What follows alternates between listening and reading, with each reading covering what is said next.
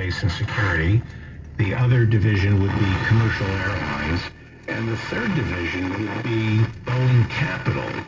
Which one of those three would have the biggest revenues? Would Boeing Capital be the growth business?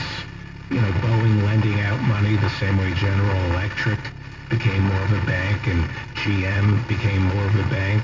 Are we finding that Boeing is getting more of its profits from lending money than making things?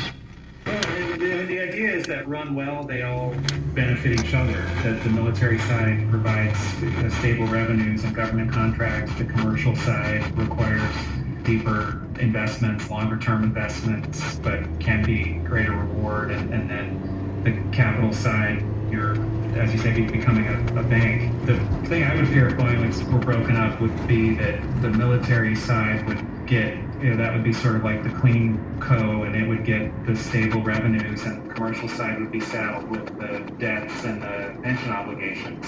The fact that they get defense space and security contracts from the government, is that what makes them so lazy on the commercial airline side? They're just different the, military and space side is more predictable, can be, and they can have a cost plus contract where you get paid even if there's an overrun.